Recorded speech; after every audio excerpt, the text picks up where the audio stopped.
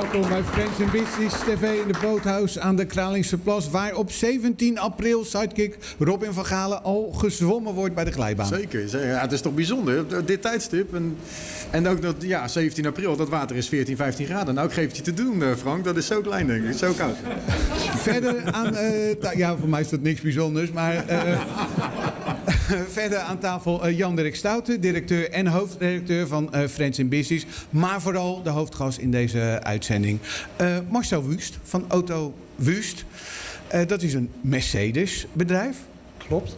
Nou, zeggen wij vaak van mensen die in de autobranche zitten... als je dat heel lang doet, en dat geldt voor jou... je bent er helemaal in opgegroeid... dat je in de loop van de jaren een beetje op je, op, op je merk gaat lijken. Zo. Nou, vertel. Is dat, eh, Ja, is wel een, nu, nu is zo'n Mercedes wel een topauto. Even lekker er binnenkomen dit inderdaad. Maar ik, ik, ik, ik ervaar het wel als een compliment, dat wel. ja, nou, zo is het ook eh, eh, bedoeld. Maar krijg je zo langzamerhand, als je het zo lang doet... toch een soort van karakterkenmerken van dat product... wat je met zoveel liefde verkoopt? Nou, wij zeggen wel, eh, ehm, op een gegeven moment dan, dan, dan adem je het merk. Dat bedoel ik. En, ja, zie je? Ik, Ja, dat klopt inderdaad. Dat klopt inderdaad. En eh, je bent er zo mee verweven ehm, dat de filosofie die het merk hanteert, dat je daarop wel, eh, wel, wel naar gaat leven misschien wel. Dat En- maar noemen. kan je daar één voorbeeld van noemen? Kwaliteitsbewust. Ehm, ik ben wel iemand die, eh, die, die, die, die houdt van bijzondere, mooie dingen. En die, als ik iets koop, dan koop ik wel iets, iets, iets goeds. Ja. Dat kwalitatief gewoon goed is. Absoluut. We hebben jou niet voor niks gevraagd, eh, Robin van Galen. Eh, buiten eh, dat je een eh, gouden waterpolocoach eh, bent, ben je ook een, mag mag ik zeggen, autogek? Of, Zeker, zeker. En wat is dat dan? Ja, nou ja, weet je, ik, heb, eh, ik ben van 72, even terugrekenen. In 91 heb ik mijn rijbewijs gehaald, dus dat was 27 jaar geleden. In die 27 jaar heb ik 26 verschillende auto's gehad. Ook een Mercedes? Dus eh, geen Mercedes. Oh. Sorry, sorry. Maar misschien wat niet, kan, wat niet is, kan nog komen, zou ik, Ik voel een zeggen. historisch Ik akkoord aankomen Ja. aan tafel. Ja. Ja. Het kan best zijn dat we dadelijk... zie eh, kansen. ka- Ja, ik zie ook kansen. Eh, maar ja, Mercedes is wel eh, echt een fantastisch merk natuurlijk.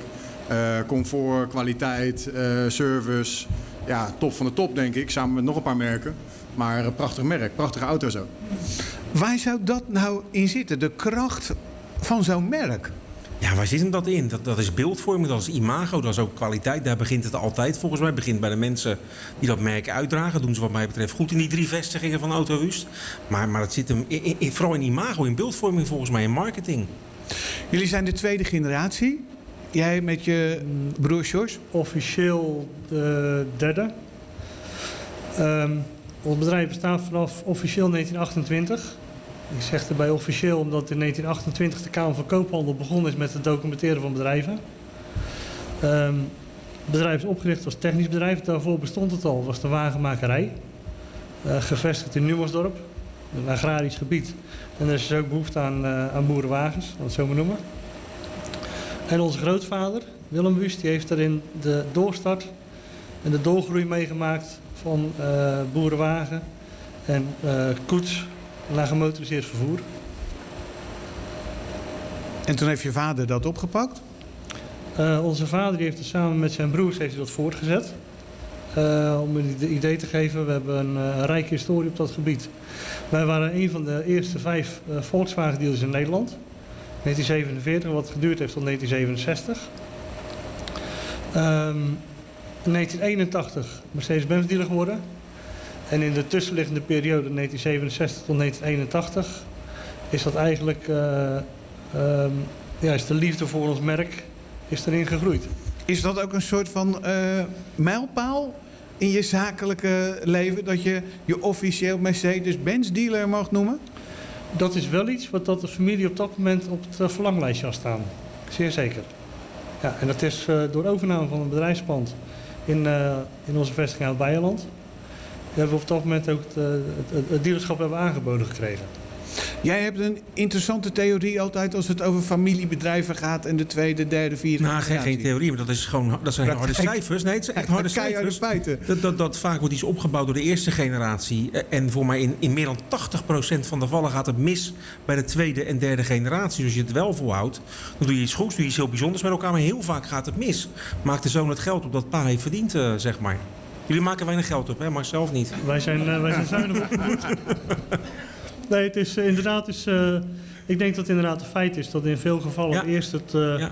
het opbouwt, het tweede het uitbouwt en het derde het afbreekt. Ja, het gaat heel vaak mis, ja. Maar het feit dat je, dat je die wetenschap hebt, Ja. ehm, geeft je ook gelijk een stukje voorsprong ehm, en kennis om dat absoluut niet, niet te doen. Daar doen we ook, mijn broer en ik. Ik ben samen met mijn broer ben ik verantwoordelijk voor de bedrijven. Mhm. En wij hebben onszelf wel heel terdege, eh zijn we ons bewust van dat we dat niet moeten Nee, doen. nee, gelukkig Jullie maar. zijn twee heel verschillende mensen, hè? Ja, ik ben, eh, wij zeggen altijd, eh, eh, wij hebben een gaspedaal en een rem. Mijn broer is gaspedaal, ik ben de rem. En als hij te hard gaat, dan rem ik een beetje bij. En als ik te langzaam ga, geeft hij een beetje gas bij. En daar heb jij in doorgestudeerd. In hoe, hoe je teams. Doorgestudeerd is een groot woord, maar het is wel mooi om te merken dat bijvoorbeeld twee mensen complementair aan elkaar zijn. Want dat zoek je natuurlijk in waterpolo-teams, maar ook in voetbalteams, in elke sport. En met name in teamsporten zoek je dat als coach natuurlijk ook. Ik, ik werkte met 13 vrouwen naar de Olympische Spelen toe en nu werk ik met een selectie van 24 mannen, waarvan er uiteindelijk 13 overblijven die naar eh, Tokio gaan. Eh, we moeten ons trouwens nog kwalificeren, maar dat is een eh, klein Detail, ja. Ehm, maar goed, weet je, dan, dan zoek je ook naar complementaire mensen. En dan selecteer je niet altijd de allerbeste spelers, maar dan zoek je naar het beste team. En dat is wel een groot verschil. En dat is wel mooi om te merken dat daar in ieder geval over nagedacht wordt. En nu met z'n tweeën, maar het wordt natuurlijk steeds ingewikkelder naarmate dat team of directieteam steeds groter wordt. En was het gelijk zo, die- die- dat gaspedaal en die rem? Of is dat iets wat zich in de loop der jaren ontwikkeld heeft? Eh, dat is iets wat in de loop der jaren zich ontwikkeld heeft. Ehm, wij schelen vijf jaar. Ik ben de jongste. En ehm, door de loop der jaren, door middel van samenwerking... ehm, mijn broer die heeft een grotere mond dan ik, laat het zo maar noemen. En eh, daarmee ben ik meer de rem geworden. En, eh, maar daarmee hebben we elkaar wel aan leren vullen. En elkaar ook weer leren begrijpen. En we hebben het besef samen dat we elkaar nodig hebben. En dat functioneert uitstekend. In ons geval. Waar is de grootste ruzie over gegaan? De grootste ruzie tussen mij en mijn broer? Ja, het botst natuurlijk ook af en toe wel. Eh, Ja, ja dat botst af en toe Ja. ook wel. Ja, zeker. zeker. Nou, de grootste irritatie van de laatste drie weken. De grootste irritatie van de Die laatste van afgelopen weekend nog ook, Marcel. Nee, wij zijn... ehm, wij gaan op dat gebied gaan wij wel heel erg goed met elkaar om. Het is niet zo dat wij... Als je, als je vraagt wat is nou de laatste ruzie geweest die je, die je met je broer gehad hebt... Dan kan ik praten over hele kleine irritaties. Die je als broers onder elkaar in een gezin ook kunt hebben. Maar geen, eh, geen grote botsing eigenlijk. Nou maar hè? Dan moet ik echt heel erg lang Ja. moet ik, eh, moet ik terug, eh, Ja, nou we komen er zo nog een keer op terug. In Friends in Business behandelen we heel vaak de transities die door de maatschappij gaan en vorm krijgen in elke branche.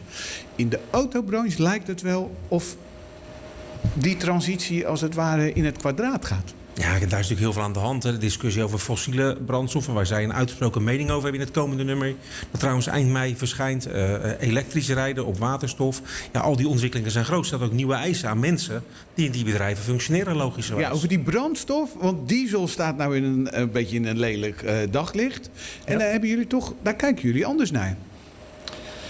Ehm, nou kijk, het is, ook hier in Nederland hebben we veel te maken met eh, niet zozeer hoe het is, maar meer hoe mensen denken dat het is of hoe ze het voorgeschoteld krijgen. Ja. Is net Ehm, een huwelijk. als je realistisch kijkt naar dieselbrandstof en dieseltechnieken, dan is de uitstoot van diesel op- op basis van CO2 is lager dan van een benzinemotor. Nou, CO2 is de uitstoot waar we in Europa op afgerekend worden. Amerika op een ander vlak. Ehm, maar dan is het onterecht, in mijn optiek, dat, eh, dat daar op dit moment dat, dat in een negatief daglicht staat. Het is een feit dat daar wel verdere ontwikkeling in noodzakelijk is, maar dat is bij brandstofmotoren en waterstof ook. Andere grote ontwikkeling is dat waar je eh, vroeger, als je heel veel tijd had, misschien drie, vier dealers afging en dan prijzen ging vergelijken. Dat je nu via internet tot ver in Europa kan kijken waar is de goedkoopste en daar ga je hem halen. Kan, dat kan. Ehm, er zijn inderdaad enorme ontwikkelingen zijn er geweest al. Ehm, die zijn ook nog steeds gaande. Wat wij eh, binnen, ons, in- binnen onze bedrijven erg belangrijk vinden, dat als je een bedrijf bent wat dat zo lang bestaat, dat je niet eh, stoffig of ingeslapen raakt. Want dat, is, dat kan een gevaar zijn. Nou, daar waken we voor. En eh, we willen daarin heel graag bij de tijd zijn. En daar investeren we in. Maar staan de marges onder druk daardoor? Eh marges binnen onze branche staan al jaren onder druk. Maar ik denk niet dat dat uniek is voor onze branche. Ik denk dat dat voor heel veel branches dat dat, eh, dat, dat een, eh, een gegeven is. Ander punt is dat je naar zelfrijdende auto's gaat. Ja. Ja. Waar een merk als Mercedes, nou niet helemaal in voorop loopt, maar zich wel in de kopgroep mengt, toch? Nou, heel veel ontwikkelingen die in het verleden al plaatsgevonden hebben, ehm, hebben ze bij Mercedes altijd heel, eh, zijn ze heel knap in geweest om dat als beste geheim eh, te bewaren. Heel veel ontwikkelingen die in het verleden, eh, die, we, die we nu eigenlijk in de auto's hebben, die zijn in het verleden bij Mercedes-Benz ontwikkeld. Ik bedoel de airbag, eh anti-blokkeer remsysteem. Vanaf 1986 is Mercedes-Benz al aan het testen en rijden met auto's op waterstof. Dus er zijn al heel veel ontwikkelingen zijn er al gaande. Eh, autonoom rijden, waar, dan we, eh, waar dan we het nu over hebben. Ook daarin zijn heel veel systemen in eerste instantie ontwikkeld en bedacht bij Mercedes-Benz. Ehm, daar komen nog veel meer dingen gaan erin eh, in, in, gebeuren. Alleen de eerste stappen, die zijn veelal, zijn die bij ons van ons afkomstig. En zeg je daarmee nou impliciet, ik weet dingen die jullie niet weten? Nou, op het gebied Nou, dat is sowieso eh, aan de orde, maar dat er het dingen in ontwikkeling zijn die wij nog niet kennen, maar jij weet dat het eraan zit te komen. Ehm, ontwikkelingen die eraan zitten te komen, dat zijn hoofdzakelijk uitbreidingen van eh, ontwikkelingen die al geweest zijn. We hebben eh, systemen waarbij, die we overigens heel veel van ons hier in de auto hebben zitten, systemen dat de auto automatisch kan remmen. Op het moment dat het bij voetgangers overste- oversteken bijvoorbeeld. We hebben systemen dat de auto in staat is om ons te helpen met sturen. Eh, we hebben systemen dat hij zelf gas kan geven om zijn, vol, op zijn, voorganger te volgen. Ja, dan heb je eigenlijk de belangrijkste factoren, die heb je al te pakken. Ja. Via navigatiesystemen weet de auto waar hij zich bevindt. De zwakste schakel die we nu nog hebben is eigenlijk de mens. en ehm, daar, moet het, daar moeten de, de moderne systemen zullen daarop gaan, moeten gaan anticiperen. Ja, maar als schrijvende journalisten zeggen de kop van het artikel, die hebben we. Ja, over de mensen zwakke is de, schakel. eh, ja. mens. Laatste punt, althans wat mij eh, betreft. We zitten hier in Rotterdam. Als we eh, dan eh, Mercedes eh, zeggen, zeggen we ook heel gauw eh, Rogam. Een van jullie eh, concurrenten. Overgenomen Collega? door een veel grotere partij. Ja. Wat is in die context jullie toekomst? Allereerst zijn wij twee totaal verschillende bedrijven. eh, waarbij ehm, wij vestigingen hebben in Hellevoetsluis, Oud-Beijerland en Dordrecht. En ons belangrijkste primaire verzorgingsgebied is eh, de strook onder de Maas. Dus onder Rotterdam. Eh, onze collega's die bestrijken het gebied boven de Maas. Maar ons belangrijkste verzorgingsgebied is, onder is, is, is daaronder. Ehm, Waarbij in dat vlak eh kenmerkt voor ons is dat we een platte organisatie hebben. Dat we op zijn plat Rotterdams gezegd met ons poot in de klei staan. En ehm, dat we een gemotiveerd team van mensen hebben die middels korte lijnen eh, zo, zo zuinig mogelijk met klanten zijn. En ondanks dat eh, op korte of langere termijn eh, vatbaar voor eh, overnames als nu eh, Van Mossel doet met Rogam? Nou, van de week niet meer. Maar ehm, voor de toekomst sluiten we nooit iets uit. Eh, ik heb vroeger, ik heb, eh, aan de Spinozaweg heb ik op school gezeten. En ze hebben mij daar geleerd dat lange termijn planning tussen de 15 en de 20 jaar was. Dan weet je gelijk hoe lang het geleden is dat ik op school gezeten heb. Want tegenwoordig is lange termijn planning is rond de vijf jaar. Dus wat dat er in de toekomst gaat gebeuren, dat zal de tijd leren. Ehm, dat we proberen bij de tijd te zijn en te blijven middels alle ontwikkelingen die op, auto, die op automotive gebied eh, aan de hand zijn. Ja, dat is een feit. Frank, ik heb nog één vraag. Ik was zo bang voor hem. wat- wat- Of, of hij nog wat heeft staan. Ja. Wat, nee, nee, nee. nee. Wat, wat zou het voor consequenties voor jullie branche hebben als Max Verstappen volgend jaar besluit om voor Mercedes te gaan rijden?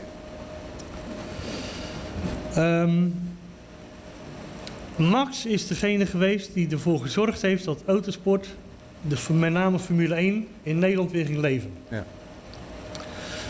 Ehm, maar ook Schumacher ehm, staat nog steeds onder contract van Mercedes. Ja. Iets wat eh, ik daarin belangrijker vind, is dat ehm, of dan Max of dat hij bij Mercedes gaat rijden of niet, Max is Max en, en Max die heeft zijn eigen schare fans die uit, zorgen voor een uitbreiding van interesse in de Formule 1. Ehm, daarnaast zal eh, wie dat er ook bij Mercedes gaat rijden, we moeten eigenlijk hebben we maar één ding hebben wij nodig, dat is eh, dat we het ook uitdragen. Heel veel dingen die in het verleden bij Mercedes-Benz gebeurd zijn, hebben we vervolgens hebben we, eh, te weinig mee gedaan, te weinig geroepen. En Maar het is, niet zo dat, het is niet zo als Max van Red Bull naar Mercedes gaat dat de verkopen bij jullie 10% stijgen.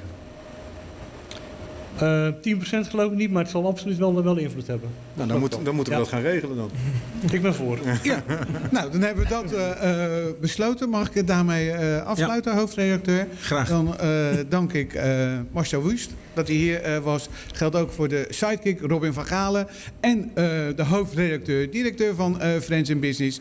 En in bijzonder dank aan jou, want je was een fantastisch publiek. Tot de volgende Friends in Business TV. Dag.